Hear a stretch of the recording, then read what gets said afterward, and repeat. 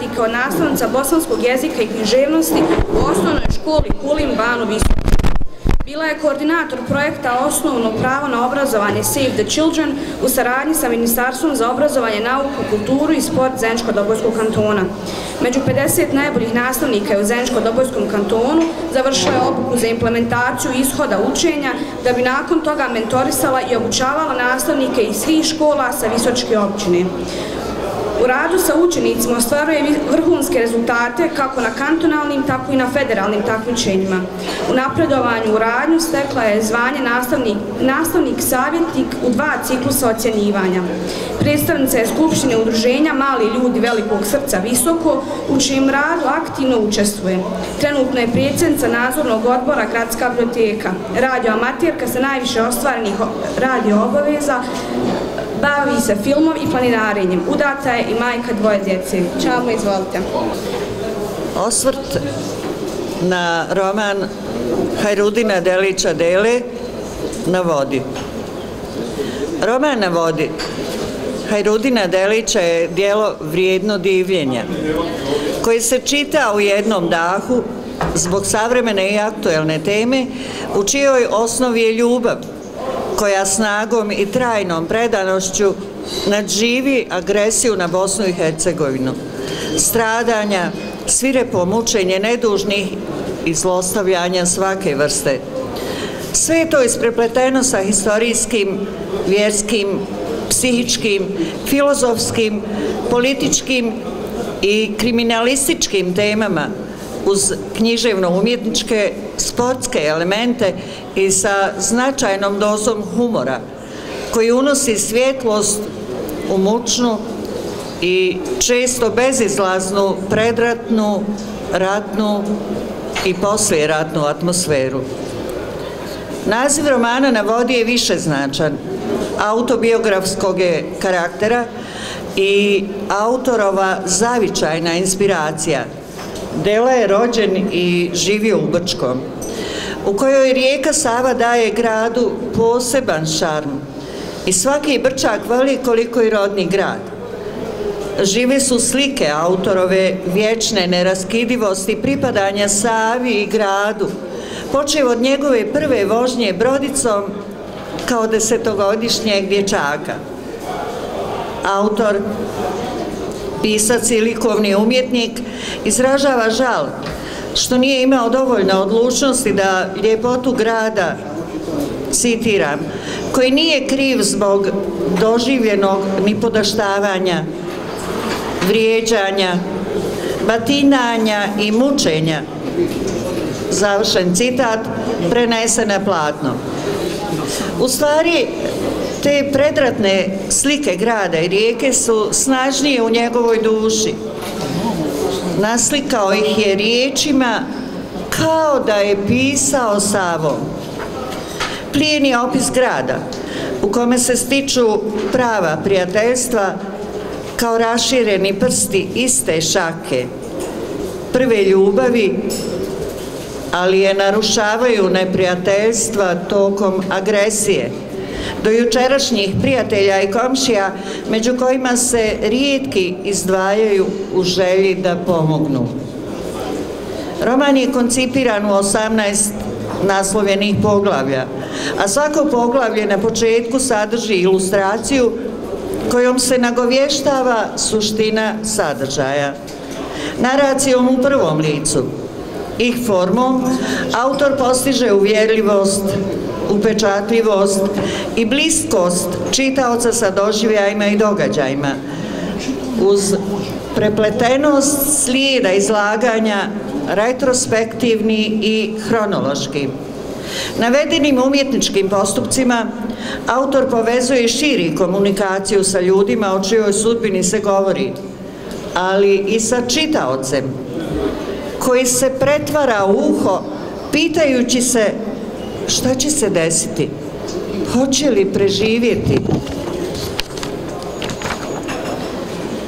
Fabula romana je dramska i napeta, proistekla iz opasnih situacija i sudbina, s mnoštvom teških i traumatičnih osjećaja, iskustava straha, koji dominira neizvjesnosti, znadežnosti, brige, tuge, bola, bijesa, neprijateljstva, izdaja i spletki.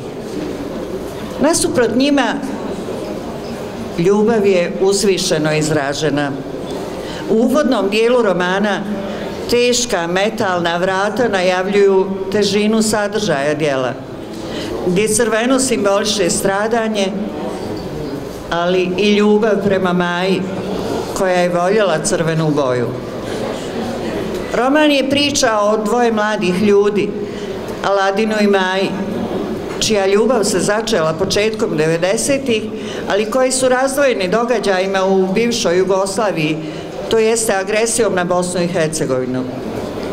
I pored mnogih prepreka, oni ne odustaju od borbe za svoju ljubav.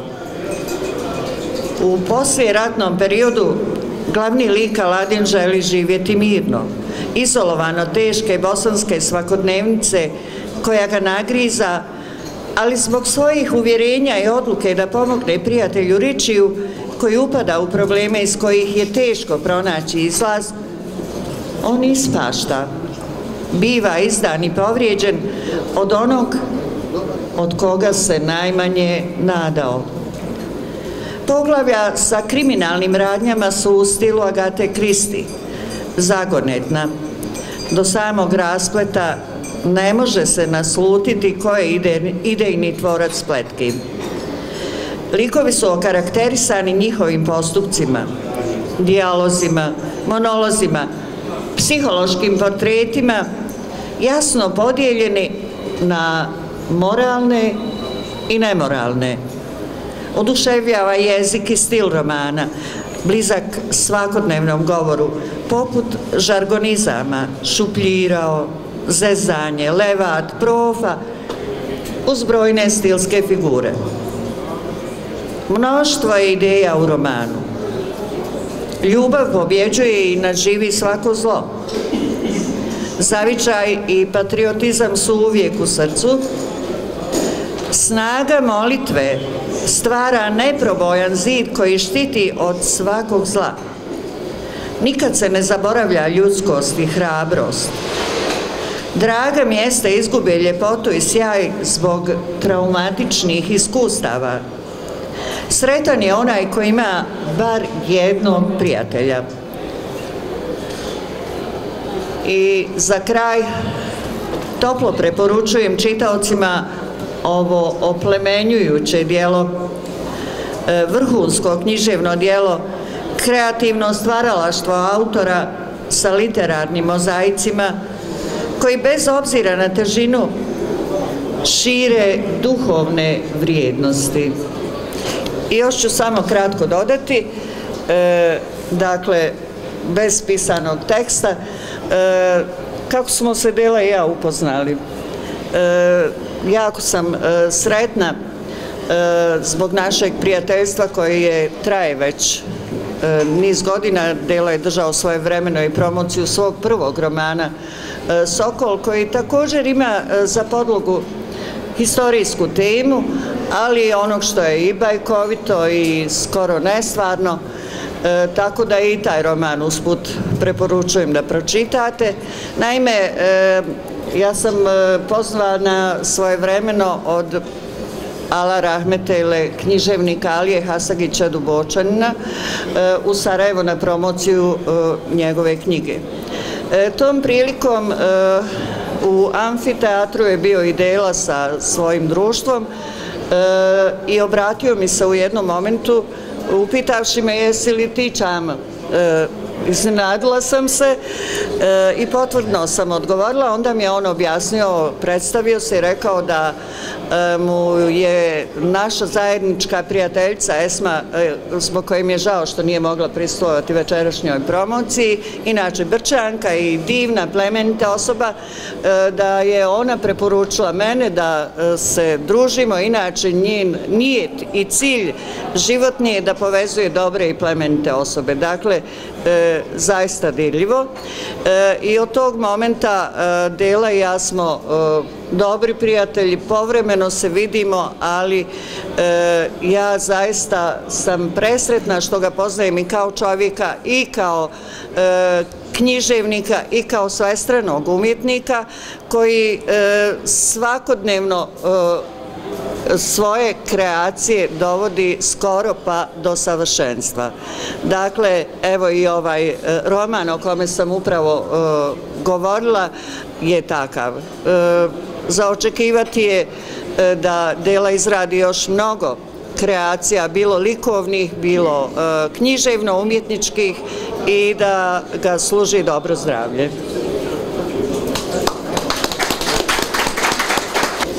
Pročitat ću vam odlomak iz poglavlja Hangar.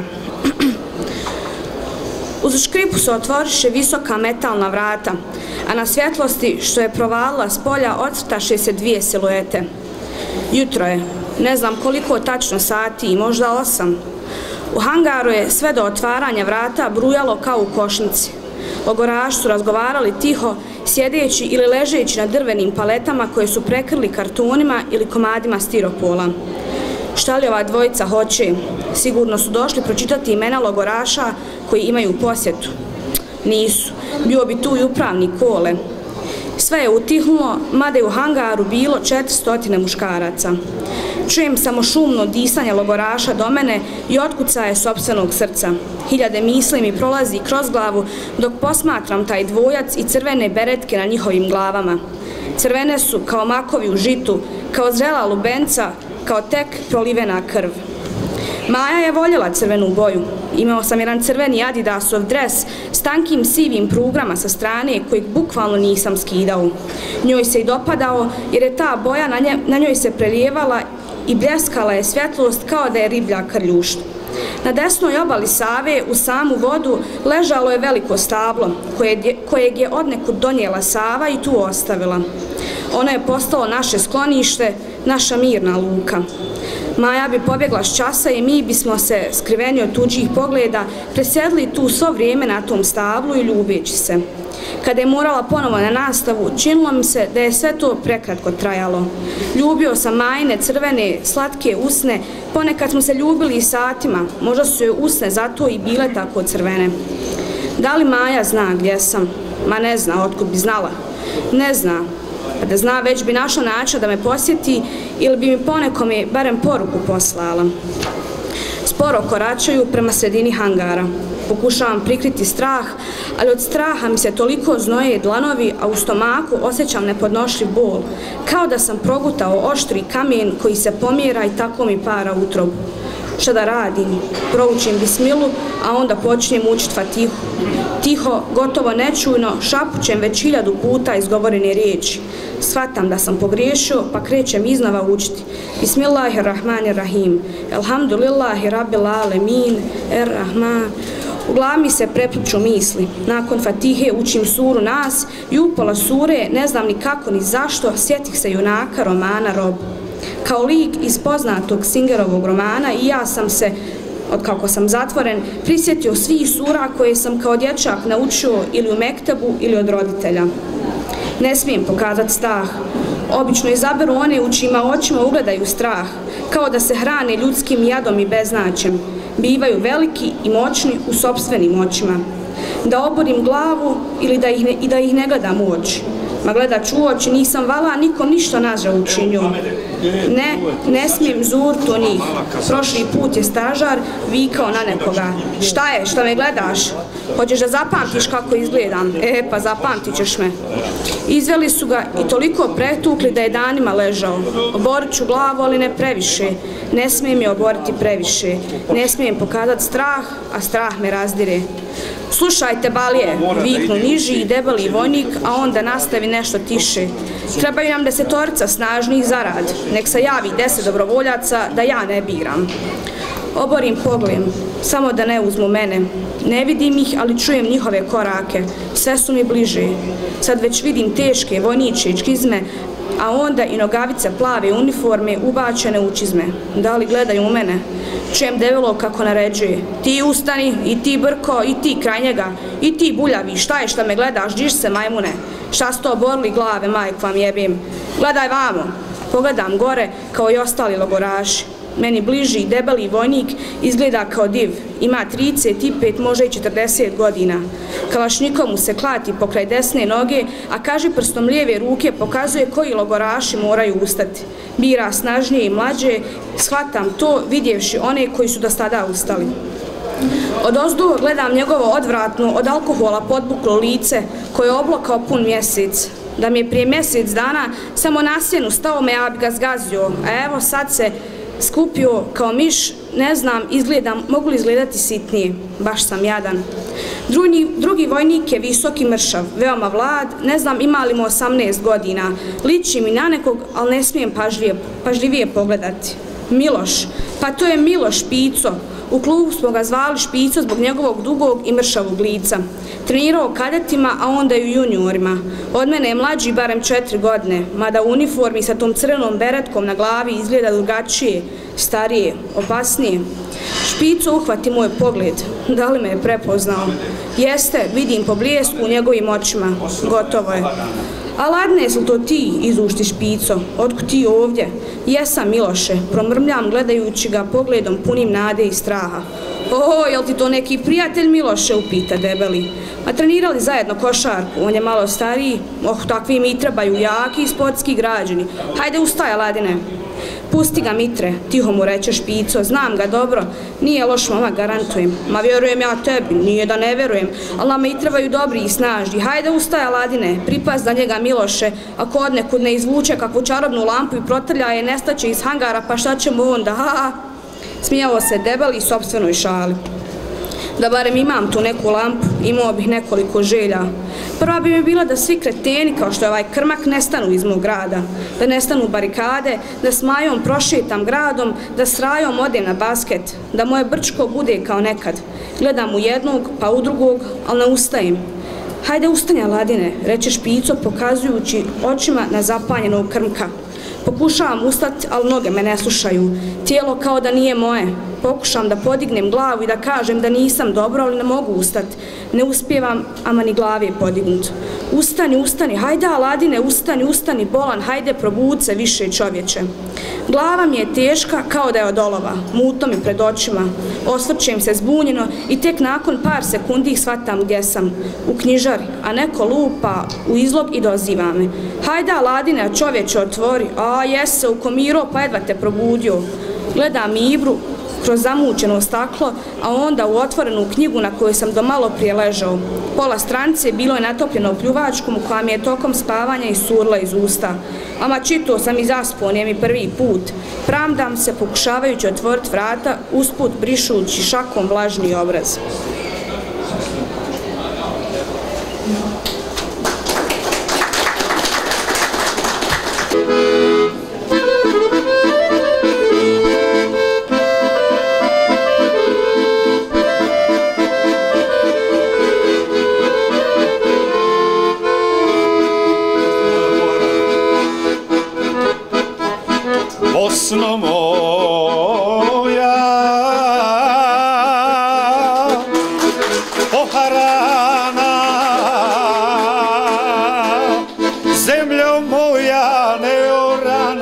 Neorana četir ljeta nesijana.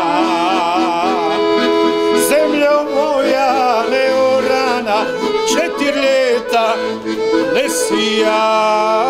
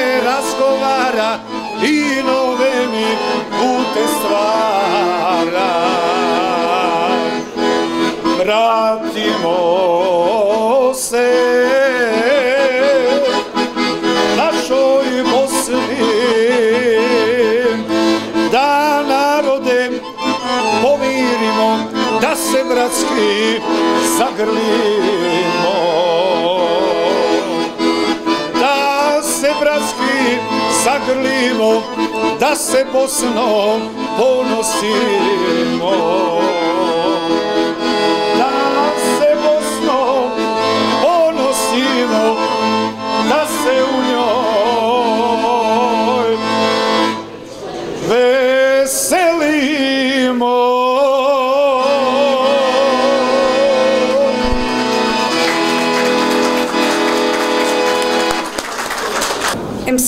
Emsada rođena je 1975. godine u rodnom gradu Zenci, gdje završava osnovnu i srednju školu te oba fakulteta.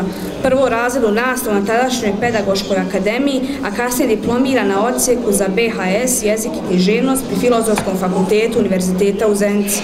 Radi u srednjoj mešovitoj školi mladost u Zenci kao profesor bosanske jezika i književnosti. Sada izvalite.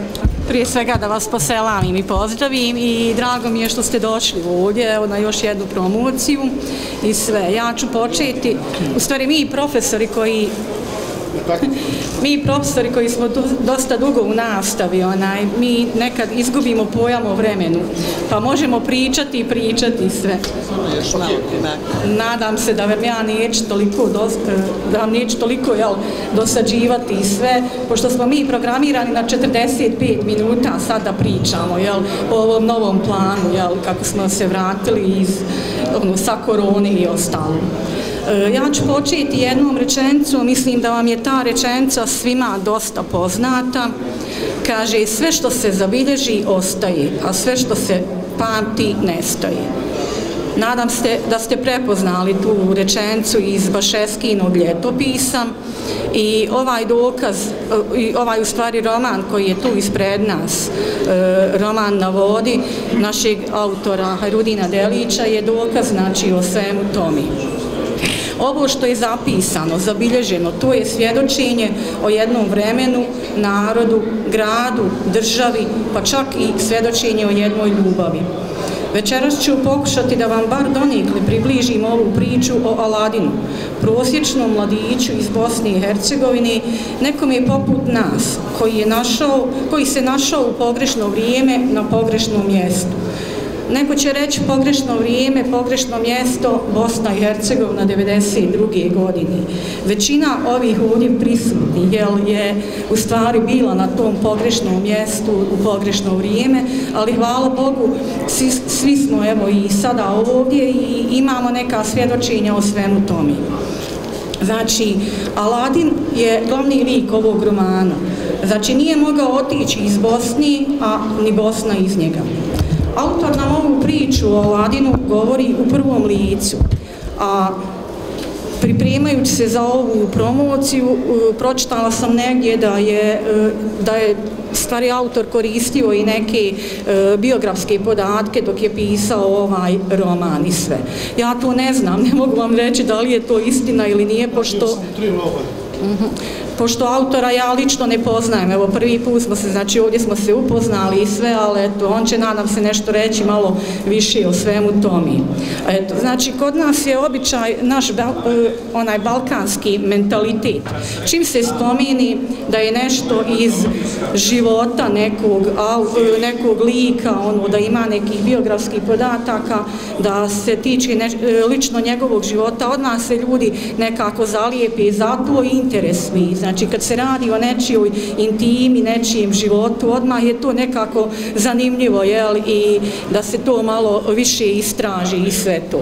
Znači, ovdje e, taj podatak imali e, nekih stvari koji su možda vezane za Aladina i Maju, to nam nije toliko ni bitno, jel? Bitna nam je priča i sve to. Ja sam, znači, dosta dugo bila u nastavi i još uvijek sam, hvala Bogu, znači, sa učenicima i e, možda ću vam malo dosaditi sa ovom pozitivističkom kritikom. Ovo je, znači, kad se traži neke sličnosti između autora i dijela o kojem on govori, to se zove pozitivistička kritika. Ta kritika je do, danas dosta i, i napuštena, jel, da tako kažemo, zanemarena, jer nam više nije toliko bitno da li su te stvari koje su spomenute u romanu, je li to e, zaista tako bilo ili nije. Znači, svijet romana, e, bilo kojeg romana, bilo koje knjige je svijet sam za sebe. Znači, može da postoji, može da bude istinit, a i ne mora. Znači, to je svijet koji egzistira sam za sebe, odgovoran je samom sebi i to se zove autoreferencijalnost. Jel? E, bitno, u stvari, ja ću se danas malo e, pozabaviti ovim određivanjem žanra. Kolegica Čama je već rekla neke stvari, pa da se ne ponavljamo, recimo, ovo da svako, da počinje svaki odlomak jel, nekom slikom i da je autor u, u ovom dijelu uvezao svoje dvije ljubavi, znači. Ja ću nešto reći o tom žanru. Znači, odrijediti žanr jednog romana je nekako on, o, teško, barem za ovaj ovdje roman o kojim se radi, znači, o, on pripada, e, u stvari, tamo u pripremanju sam pročitala da je to kao e, neka ljubavna priča, ljubavni roman. Međutim, on ima i neke kriminalističke e, priče, znači neki sadržaje koji nas podsjećaju, evo kao što je kolekcija rekla na e, neki dijelove iz e, romana Agate Kristi. Mene su nekako posjećali te scene na one scene iz američkih filmova, ono, znate, Jurnjava i ono nešto, potraga za nekim blagom i slično. Sve dok sam to čitala, nekako su se vrzmale te slike, jel, u, u mislima, jel. E, zatim, e, da li je ova, ovo dijelo umjetnički dokumentarizam? Znači, nešto što je e, novijeg datuma i nema ga u onim učbenicima iz kojih smo mi učili tu neku književnu teoriju i teoriju književnosti i slično. I da li je ovo dijelo e, potresno ratno, obično potresno ratno kazivanje? Da li možemo reći obično, jer to nije svako iskusio, jel, i sve to. E, ja mislim da je ovo dijelo, ovaj roman, znači sve to. I tu je baš i ljepota ovog dijela, znači što, što ga ne možemo ograničiti samo na jednu, jednu vrstu, jedan žanr, nego je on sve ovo što sam nabrojala.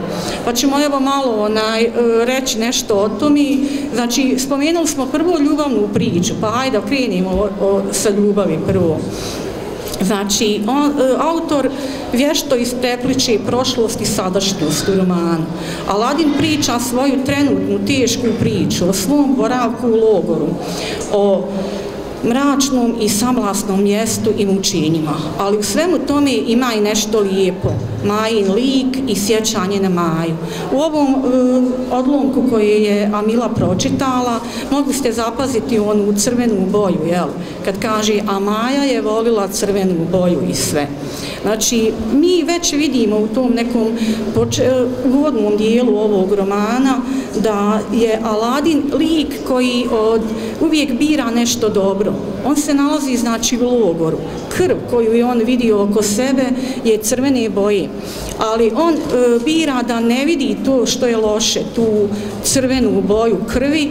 On e, bira to da, e, da vidi e, kako to Maja vidi u stvari.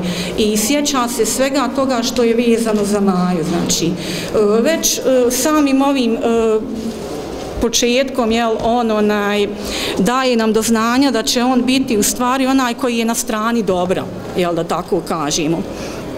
E, čim ste čuli ime Maja, E, sigurno vam je odmah kroz glavu prošlo, aha, još jedna tema zabranjene ljubavi i sve.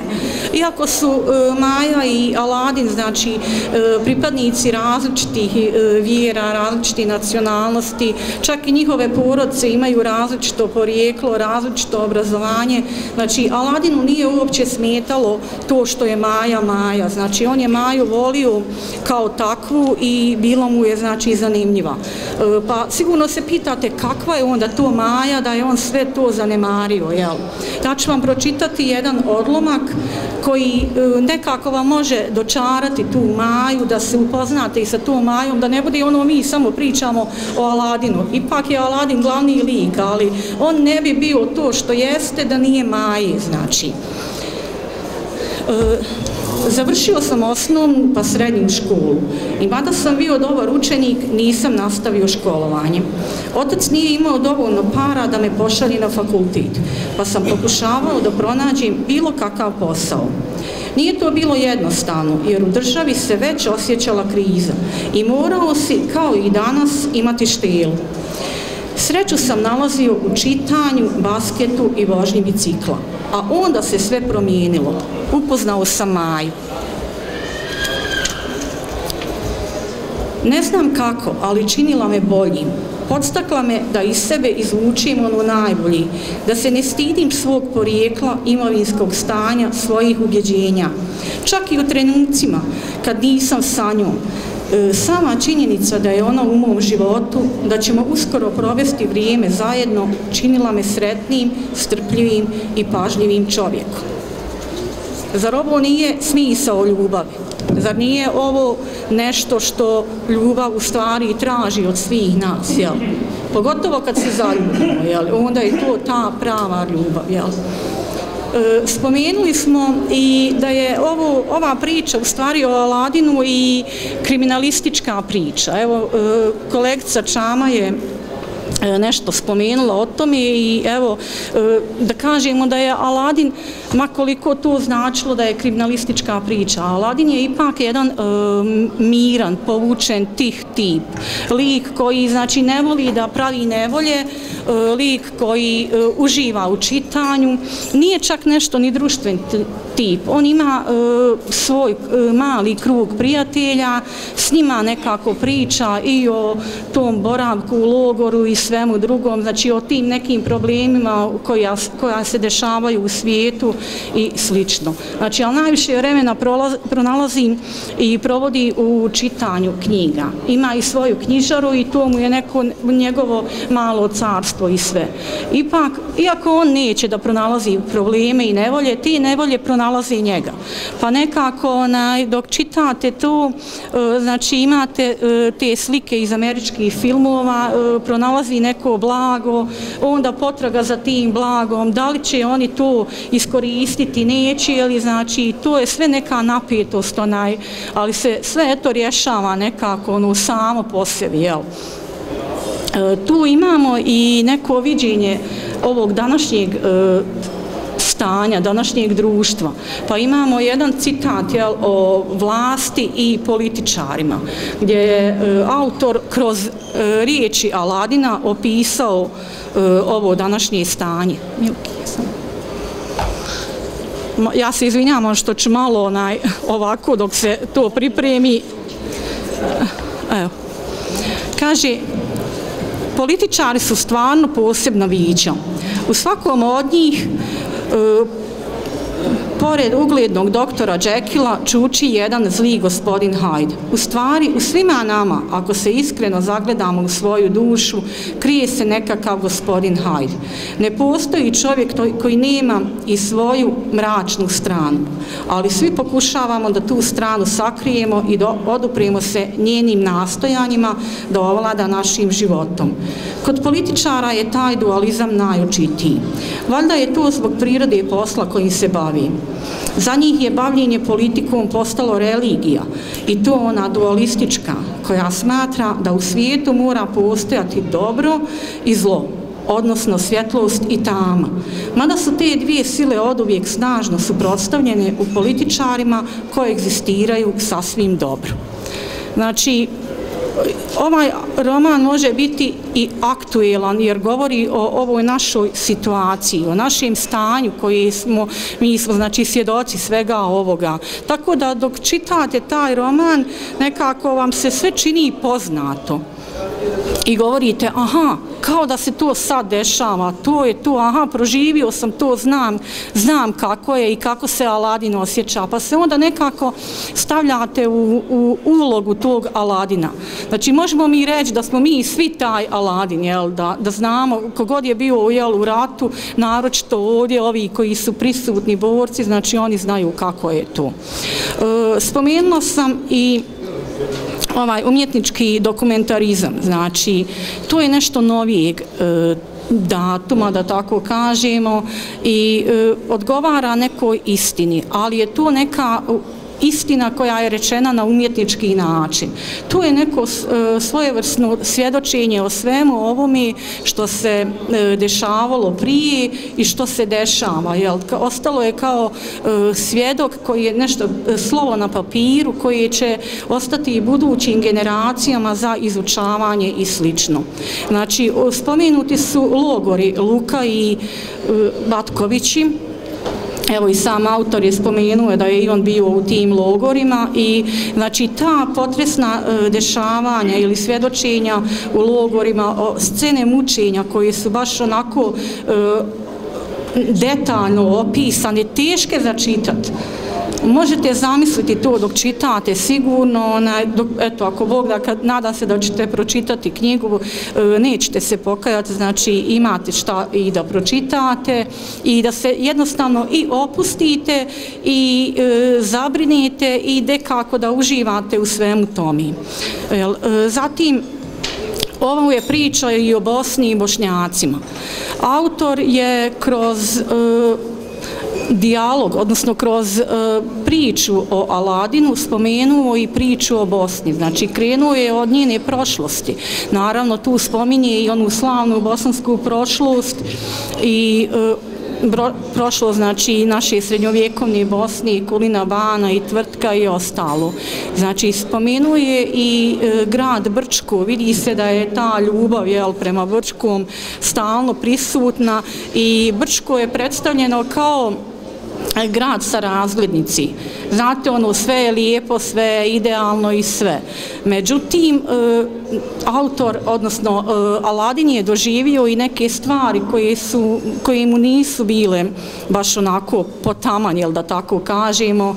E, doživio i neke loše stvari u tom Brčkom, ali on ne krivi grad. Grad nije kriv za to. E, on, sve što mu se lijepo desilo u gradu, znači desilo mu se u tom gradu. Naravno, ima i onih loših stvari, ali je njegovo opredjeljenje kroz cijeli ovaj roman, znači kroz cijelu ovu priču, njegovo opredjeljenje je da on bira dobro i lijepo, a neće se osvrtati na ono što je loše i što je zlo. Jer svi mi možemo, e, baš tamo je spomenuto kao e, priča njegovog oca koji ga je savjetovao, znači da uvijek od dva zla bira ono manji, a od dva dobra bira ono veći.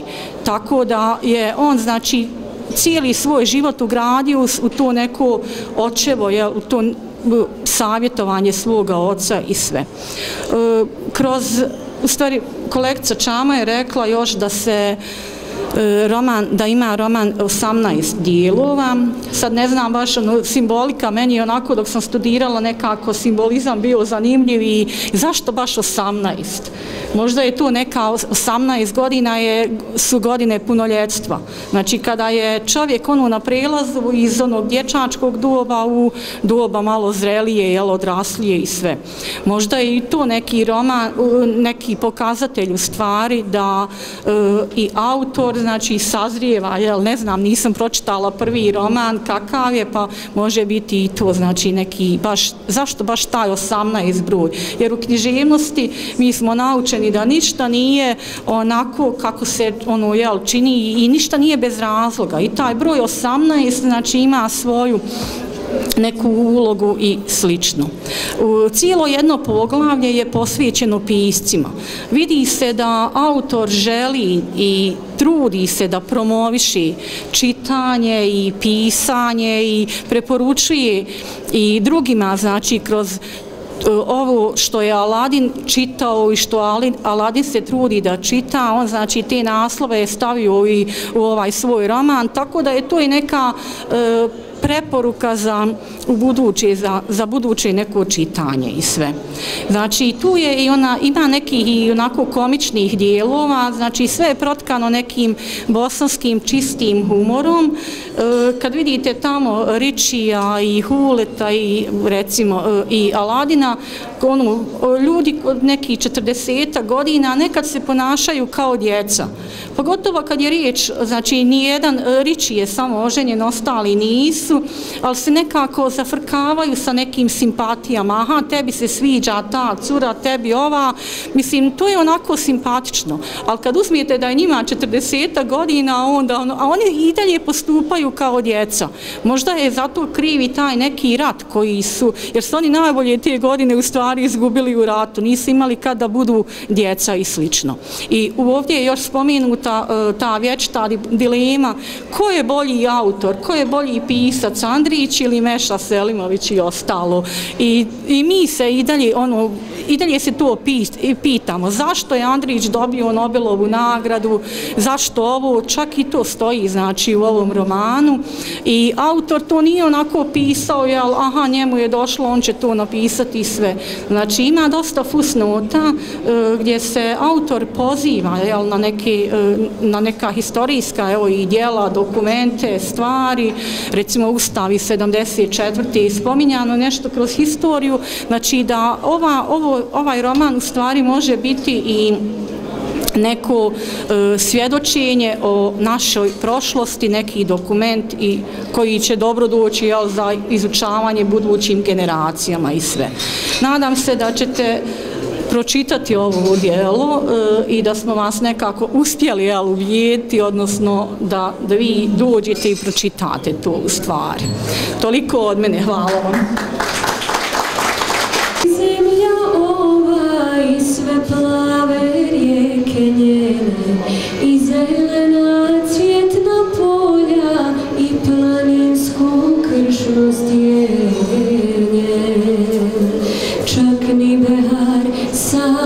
sam mirisom svojim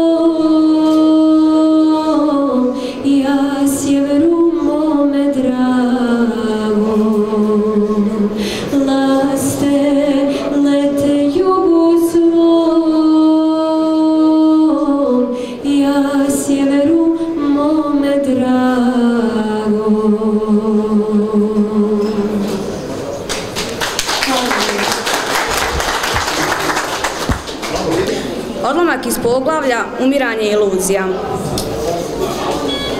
Kemal, građevinski radnik u penziji, je kao vjerni pas pratio Avdu, trčkarajući oko njega kao posilni oko generala. Imponovalo mu je da bude u društvu ljudi za koje je on mislio da su viđeni i da imaju uticaj u našem gradu. Ono što bi čuo na kahvenisanju, poslije bi sa važan prepričavao kao svoje mišljenje i odlučno ga branio. Avdo je član stranke na vlasti i pripada krugu ljudi koji su imali uticaj na njen rad, mada nije bio u glavnom odboru stranke. Privatnike, vlasnik fabrike namještaja i još u predratno vrijeme finansijski je pomagao stranku, pa odakle dolazi njegov uticaj u stranci. Nakon rata, stranačka pripadnost mu je pomogla da se dočepa više poslovnih prostora bivšeg Šipada u kojima je otvorio svoje salone namještaja, a poslovne prostore na najboljim lokacijama izdavao je za dobre pare. Moglo bi se reći da mu dobro išlo u životu, ali kod svakog biva ono neko ali. Njegov problem bio je priglupi i nesposobni sin Večir, koji vjerovatno ne bi mogao uspješno ni ovce čuvat, a kamoli vod poročne poslove. Avdo ga je pokušavao progurati na stranačku listu, smatrajući da će mu to podići ugled i da će tako, kao i mnogi drugi, doživotno brati platu iz budžeta. Naravno, to bi pomoglo i radu firme i ugledu njegove familije. Predstavnik stranke Suleman mu je više puta običavao da će večera svakako staviti na listu, ali da inicijativa mora doći iz izborne jedinice, odnosno iz naše mjesne zajednice. Znao sam da on zato i dolazi u moju radnju.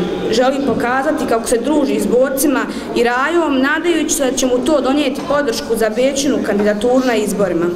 Čašćavao je ljude pred kafićem, pomagao aktivnostima mjesne zajednice, a osnovnoj školi donirao je poklon paketiće za Bajram.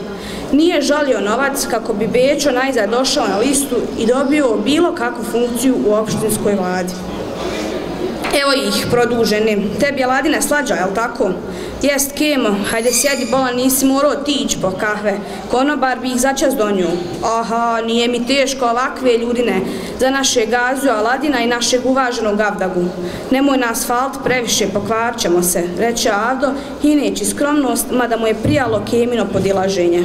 Kako ti je mati Aladine, upita Avdo. Dobro je, hvala Bogu, eno izađe u bašti, nešto kopa, u zadnje vrijeme noge boli ama nek nije šta drugo. Mnoge bole i puno mlađe ljude, srećom od toga se ne umire. Ih mene zna presjeć ovdje u ramenu pod klečkom, uključi se Kemal u razgovor. To mi je od onog pada saskele, sreća pa ne udari glavom, ne gramenom, poče Kemal svoju već mnogo puta ispričanu priču. Ovo rame je bilo svo zdrovljeno, a lopatica me odšla skroz vam. Leo je Kemal pokazujući na lopaticu ma ti si kemo, fenomen, šalio sam se. Pa s takve visine i ostati živ, pa ti trebaš sadaku davat kod god da kreneš. Znaš li kemo, ko bi sigurno preživio takav jedan pad? Ma otkud znamo, ni cirkuzant, jel? Pa možda bi mogli cirkuzanti, ali mislio sam na političare, kemo. Da ih baciš sa Efelovog tornja, ništa im ne bi bilo. Dočekali bi se na noge komačke, a tokom leta smislili bi kako da ga privatizuju, rastave i prodaju za dobre pare. Pravo veliš, Aladine, složi se Avdo. Pravo veliš, kakva, su, kakva se bagra uvuka u politiku da te Bog sačuva. Nudili su i meni da me stavi na tu njihovu stranačku listu, ali jok, kažem ja, neću da me džaba glava boli. A vala, Avdo, trebao si uskoć kemo, pa ti bi barem pomogao ovom gradu, a baška našoj mjesnoj zajednici.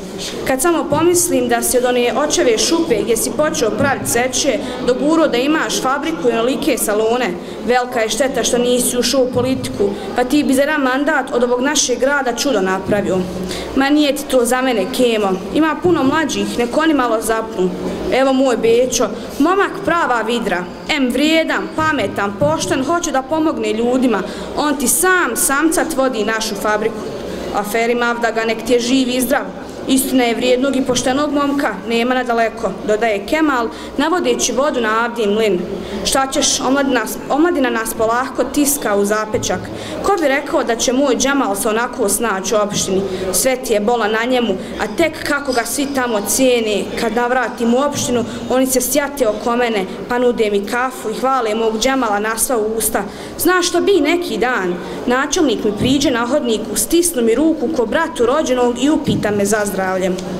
Vidim ja kud vodi ovaj razgovor, ali pravim se da ne shvatam. Nekom je sa strane moglo bi se učiniti da ova dvojica pričaju bez veze i da su naivni i priglupi, ali oni se pravi lisice i uigran su tandem. Kemal je zadužen za, da podržava Avdu, a on usput uvijek pohvali svog sina Džemala. Naglašavao je njegov veliki značaj u opštinima da je Džemal radio kao ložač centralnog grijanja. Objavlja oni neke druge poslove oko održavanja, ali Džemalovo najveće dostignuće da ponekad učini uslugu načelniku popravlja popravljajući mu radijatore ili brave na vratima. Ja se uvijek malo našalim sa njima, ali tako da ih ne uvrijedim. Znam ja da bi Avdo puno napravio, sto put više od ovih nesposobnjakovića, kažem. Ali ne može on nalisti, pa ne bi bilo dobro za stranku. Što, što to meni fali? Jesam li rogat, utav, glup? Ma nisi Avdo, ne do Bog, samo bio si osuđivan, ležao si u zatvoru, kom je za to. Odležao sam. Ali nisam ti ja jedini za Tita vakta ležao. Znaš kakve su komunjare bile. Nisi smio riječ progovoriti protiv Tita. Nisi smio ružnu pjesmu zapjevati. Kako sam čuo, pa ti nisi u zatvoru ležao zbog pjevanja, ni zbog politike. Ti si ukro štal, kravu ištali familije Ribić. Ko? Ja, ma koje ti je to džubre izmislo da sam spao na to ja da kradem? Kako bolan kravo, Aladine?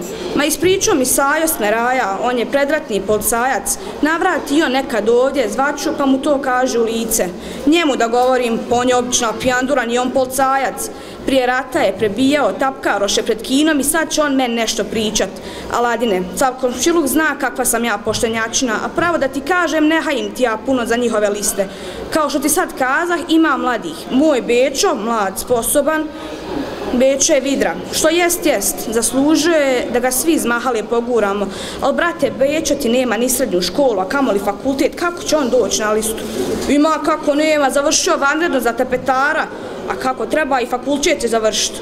E, vidiš, to si dobro rekao, to bi bilo najbolje. A znaš, puno je bilo bolje kad se pojavi pred glasače i predstavi se kao inženjer, arhitekta ili neki pravnik. U titino vrijeme mogao je dobro proći kao mašin bravar ili tapetar, ali danas imaju neke diplome. Imaš pravo, inženjer, mm, jok, bolje arhitekta. Najbolje da, da ti o tome popričaš sa Ademom. On, on je završio fakultet u Kiseljaku.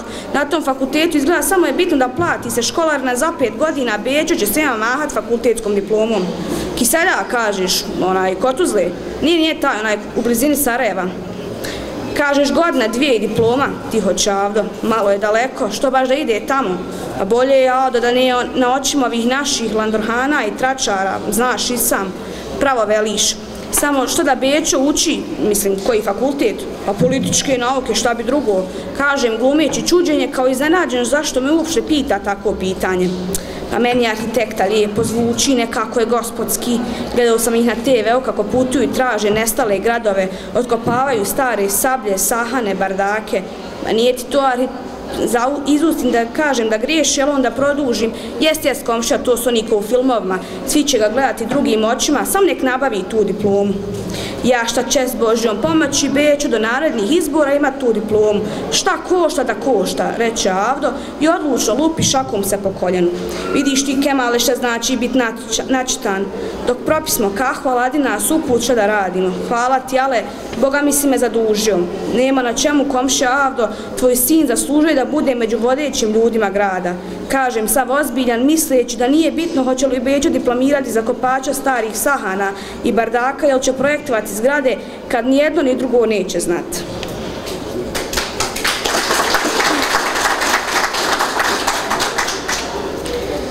Herudin Delić, rođen je u Brčkom 31.12.1959. godine gdje je završio osnovnu i srednju školu. Odlazi na Tehničku vojnu akademiju u Zagreb gdje boravi od 1978. do 1982. Napušta akademiju 82. i vraća se u Brčko gdje živi i radi do početka agresije na Bosnu i Hercegovinu 92. U maju 92. biva zarobljen i boravi na tri, u tri logora, Partizan, Brezovo polje i Luka. Nakon razmjene stiže na slobodnu brčansku teritoriju, a odlatlo odlazi u Visoko, gdje kao rezervni oficir pristupa armiji Republike Bosne i Hercegovine i tu ostaje do kraja rata. Od 1996. živi sa porodcom u Sarajevu. Mada piše i slika dosta dugo, tek u zadnjih deset godina počinje se ozbiljno baviti pisanjem. Objavljivao je priče u časopisu za književnost i kulturu Riječ, kao i u časopisu za pozorište, književnost i kulturu Susreti. Istovremeno boravi na više slikarskih kolonija. Prvi roman Sokol, na kojem je radio četiri godine, objavljuje 2017. a drugi roman na vodi krajem 2020. Oženjen je i otac dvoje djece. Autore izvolite. E, dozvolite da vam se i ja zahvalim što ste izdvojili svoje vrijeme, da vas poselam, e, da ste izdvojili svoje vrijeme i došli na e, promociju mog romana na vodi. Roman na vodi je, nije autobiografski. U suštini, e, većina stvari e, koje se odnose na logor su istinite, ali je e, činjenica da on u stvari samo se sjeća tih stvari, on ne upisuje direktno šta se dešava u logoru. Kao što ste vidjeli iz poglavlja Hangar, sve ono što govori o logoru je u stvari sanja. Međutim, ono o čemu je on sanjao, to se stvarno dogodilo, dogodilo se meni. E, činjenica da je Aladin lik koji je mlađi od mene, on e, deseta godina nakon rata ima 35 godina e, njegovi prijatelji su nešto mlađi, oni se druže, zezaju se što kaže Ćama. On je mladić koji voli da čita, da piše, da slika, međutim on je neko ko je završio srednju školu, e, čiji e, način govora, način izražavanja je e, takav. I zato su me neki ljudi koji su pročitali knjigu, rekli, rekli su mi da je, kaže, jednostavno, a opet dobro, e, ne shvatajući da, u stvari, knjiga je napisana u ja formi. E, znači, namjerno je napisana tako da bi se dočaralo, e, kad sam počeo da pišem, nisam znao na koji način da dočaram ljudima šta znači sjediti u logoru, sjediš u prostoriji, gdje to je hangar, Eh, mada sam bio u različitim prostorijama, hangar gdje sjedi često ljudi i, i ulazi neko i bira koga će da tuče, koga će da ubije, koga će da maltretira. E, to se nikako drugčije nije moglo e, pokazati osim u ja forme. E, I ono je sve istinito. E, tačno se onako desilo čak i e, Singerovog groba, što ja spominjem, to je jedan pisak e, Išak Basevi Singer interesantno je da se meni baš ti ljudi prilaze dvojica s crvenim beretkama i ja učim sve što znam znate i sami čovjeka se kad u teškoj situaciji eh, uvijek se sjeti majke i Boga, to je tako. Eh, sve što sam znao, proučio sam eh, i, i u tom trenutku dok oni ulaze, meni je na umu pao, i to je stvarno istinito, taj rob, Singerov, koji je također bio zatvoren i onda je se prisjetio svega što je o vjeri ovaj, znao prije toga, sve mu se vratilo, mada nije bio vjernik. Samim tim ovaj, eh, mislim da, da je na, bolji, na, na najbolji mogući način dočarano eh, kako se čovjek osjeća u logoru, kako se osjeća dok gledaš da muči čovjeka pored tebe, eh, što mi se desilo u Partizanu gdje obori čovjeka čija glava padne ovde meni pored gdje ja sjedim, sjedili smo na nekim onim strujnjačama velikim, partizan je sportsko društvo i hoće čovjeka zakolje tu na 10 cm od mene. E, to su veoma teška stvari. Međutim, e, u suštini roman nije roman o logorima. E, što kaže e, prijateljica naša, nije to roman i o ljubavi. E, svakoga e, na svoj način ovaj svata. Međutim, e, moja ideja je bila da pokažem kako mlad čovjek, znači njemu je 35 godina, koji je borac, e, i to znači borac koji je bio viđen tamo, e, bio je dobar borac, dobar čovjek, e, kako ne može da se uklopi u sadašnje društvo? Sama fabula romana, znači, kad tri prijatelja, znači oni i dva prijatelja pronalaze pare, je izmišljena, ta fabula je izmišljena. Međutim, likovi su istiniti. Lik Huleta je u stvari lik Bonka eh, Edina Sadikovića koji je Alana Vitele poginuo na Brčanskom dole ratištu eh, u Dizaruši koji je eh, dobio zlatnu miljana, jedan od najboljih dole boraca a to, tog momka sam ja vodio na basket njega i to njegovo društvo išli smo na basket, oni su mlađi od mene i u dogovoru sa njegovim sestrama ja sam htio da oživim taj lik jer mislim da Inače, ovo društvo, znate i sami, svi vi, e, nije, ne čini puno za svoje bivše borce, ranjenike, invalide, znate i sami već kakva je situacija i mislim da je to ovaj, pojenta e, romana, ja kako ga vidim, ja sam ga i pisao, je to, znači njegova nemogućnost da se uklopi u sadašnje društvo, da uspije, da e, da, da, da, da ima prijatelje uh, s kojim može iskreno razgovarati. Čak i ti prijatelji koji pronalaze pare s njim, na kraju jedan od njih ga izdaje. Uh, u suštini to je preslikano na današnju situaciju u društvu. Uh, mada je roman smješten u Brčko, mogao bi se smjestiti u bilo koji prostor Bosne i Hercegovine bez ikakvih problema. Ja mogu nadugo i naširoko pričati o romanu, ali ne znam koliko imamo vremena eh, i to je, mislim, mislim da je dovoljno ovo, evo, eh, vidjeli ste i ova dva dijela koja su pročitana. Mm, mada su eh, i Čama i gospođa ovaj, govorili da su strašna mučenja koja su tamo prikazane, međutim to nije ni 10% romana. E, više ima humora u romanu kojeg ste vidjeli u drugom dijelu nego e, samih tih dijelova gdje, gdje pokazuje logor. Ovaj. E, I zato bi ovaj, vam preporučio da pročitate taj roman. Ne, ne mogu vam E, normalno, ne može se sve ispričati. Ovaj. E, je također spomenula e, Andri Selimović. E, to mi je aktuelno, jer ja inače mnogo volim da čitam i normalno to sam prenio na svoj lik. Ja ne znam koliko od vas zna, vi znate da Andrića svojataju i Srbi i Hrvati. Međutim, ne znam koliko od vas zna da je Andrić, da mu je otac Božnjak, a da mu je mati Hrvatica. Mati mu je Katarina Pejić, za koju se zna kako se zove, i da je u travnik upisan u knjige, crkvene knjige. I da je, obzirom da je otac bio bošnjak, nije priznao to dijete, ona ga je odvela u, ovaj, odvela ga je u više, više kod svoje sestre, Ane, koja je, uh, nis, nije znala šta da radi, pa, je, pa su ovaj, zamolili, odnosno valja su platili jednom starom podvorniku da on prizna koji se prezivao Andrić, da prizna Ivana uh, i tako je on postao Ivan Andrić, mada je taj djed, mislim, podvornik umro kroz dvije godine, znači veoma star čovjek bio. Uh, i, i, zbog, I to sam također spomenuo. Znači, mnoge stvari uh, su nama nepoznate, bile, posebno prije rata. Eto, hvala Bogu, danas Eh, nam je sve dostupno, možemo da čitamo, eh, možemo da, da se informišemo. Eh, ja veoma često gledam klipove njihove televizije gdje različite eminentni govornici govore o raznim stvarima, pa i o bošnjaštvu, o historiji,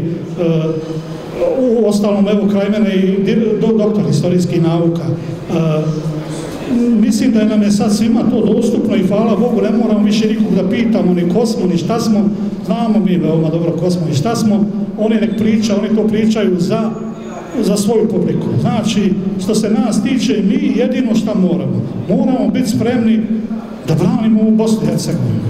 I ja se nadam, i to je negdje i na kraju poruka, da, da, da će se uvijek rađati neki, neki mladi ljudi koji će biti spremni da, da brane tu i Hercegovinu. Mada neki kažu, Bosna ima hiljadgodišnju historiju, e, ne može to Dodik, ne može ovaj, onaj. Ima ona toliku historiju, a međutim, e, e, za opstanak Bosne proliveno je mnogo krvi. Hiljade života je dato, znači nije ona opstala samo tek tako. Znači, mnogo je života dato za Bosnu i Hercegovinu.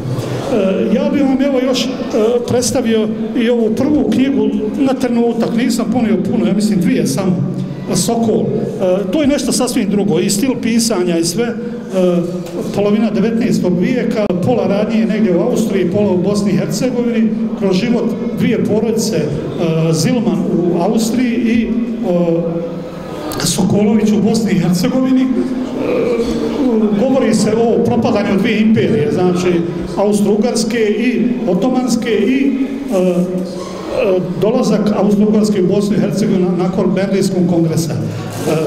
Ja vas ne više zadržavao, evo vidim da je, znači sa vremenom smo u Cajtnotu, svi koji žele ovaj, da kupe knjigu, evo za ovim stolom tamo ovaj mladić u crvenoj majici, ovaj, kod njega mogu da kupe po cijeni od 15 km, svi koji kupe knjigu dobit će broj i e, nakon e, što završimo sa potpisivanjem izvućemo e, sretnog dobitnika, ja sam naslikao jednu sliku kao poklon tome ko, ko bude izvučen.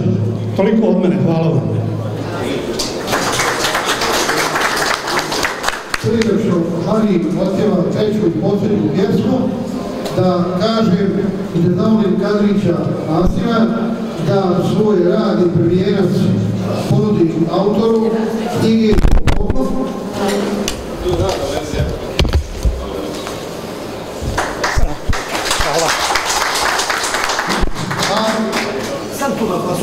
Interes, ja, interesantno je da je znači, prvi roman Radnja je smjestana u Gračanicu, ali je li ovo Gračanica ova dole? Zenička.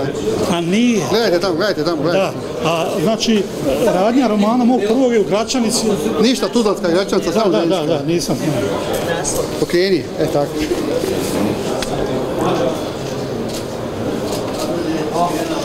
A obzirom Hvala ti. kad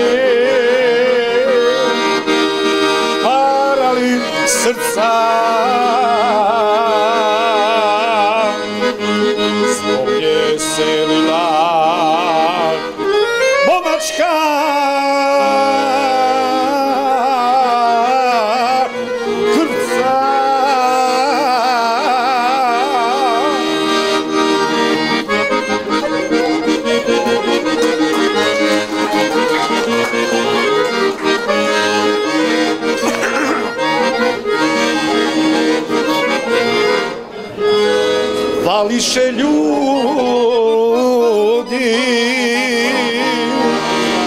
ljepotu njenu i pjesnici za nju znaše tu nekada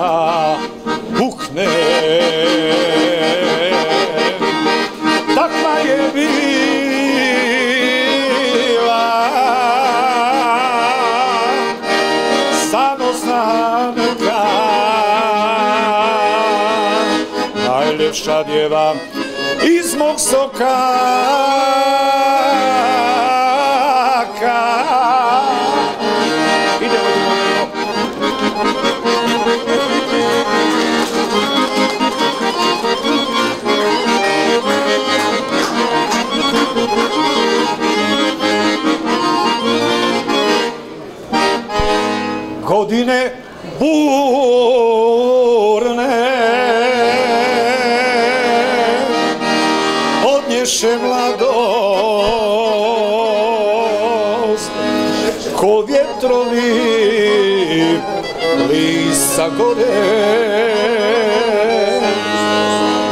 Hiroshima.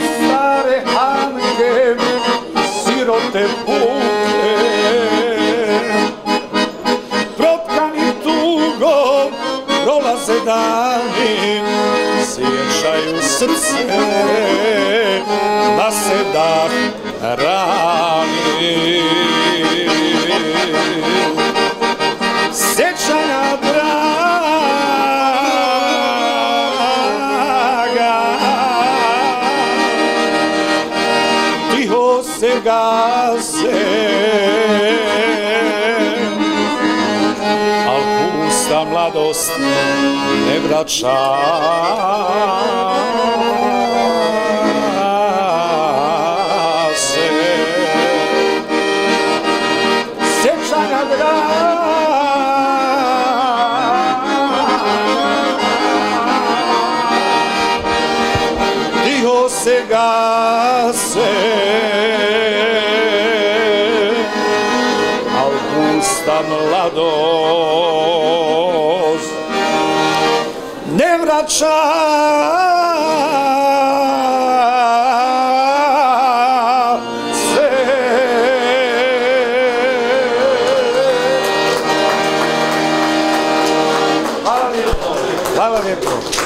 taj moj drug Mohamed, mašao 84 godine, mašala.